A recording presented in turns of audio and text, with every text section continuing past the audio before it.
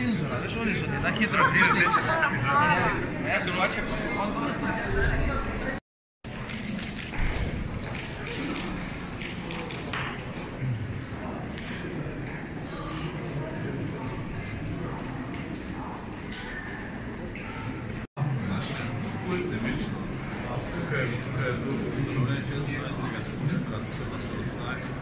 Надо население заставить, а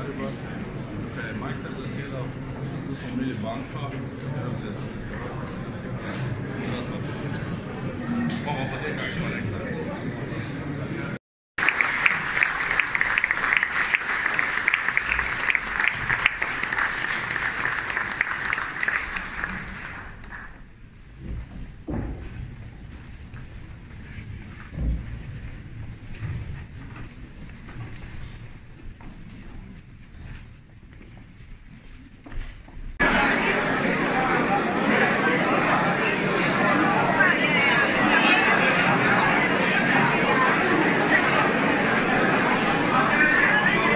Slav oziroma nagrada nam pomeni veliko. To ne pomeni nam en dokaz, da delamo v pravi smeri, da smo si strategijo začrtali ustrezno in da lahko kar potrdim, da še pred, pred nami lepa prihodnost.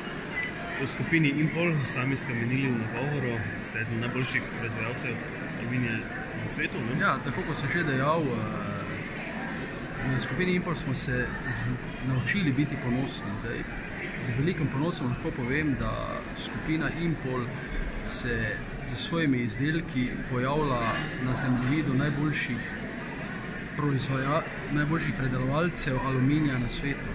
Povem lahko, da smo številka ena v Evropi med izdelovalci palic za kovanje elementov za dinamično obremenjene segmente.